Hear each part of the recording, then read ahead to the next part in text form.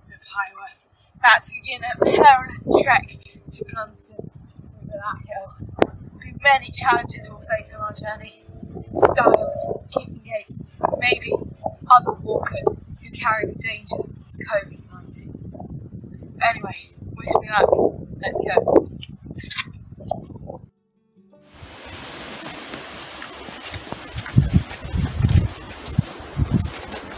We've come to one of our first big challenges. The stile. Now, when you go over a stile, you need to be very careful to climb over it safely and carefully, especially in these times you don't want to do touch too many things that could have been handled by other people. Here I go.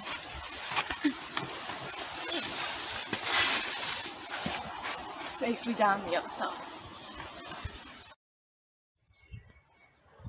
Here we can see one of nature's finest animals, the sheep, in its natural habitat. These sheep can be useful for a great number of things when you're out on a hike, but for now, let's just carry on. There's some very excitable birds on the other side of this hedge.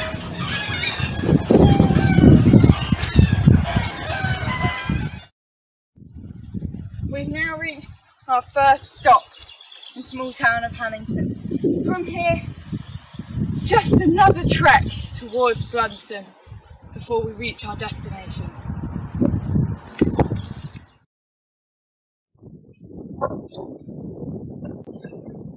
Ground's quite dry.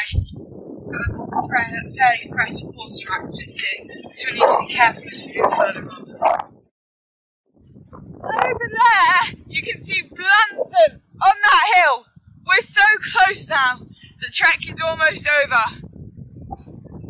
Tantalisingly close there at the distance, just a mile or so to go. Come on. Here we face another huge challenge. Stinging nettles. Got to try and worm my way through this to get to the bridge on the other side. Here I go.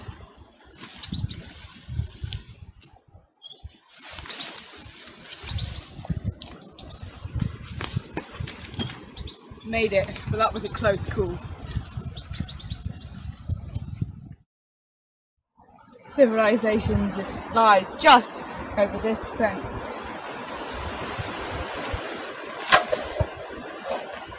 Off we go. We finally made it to Blunsdon. Now, all we need to do is wait for the helicopter to pick us up.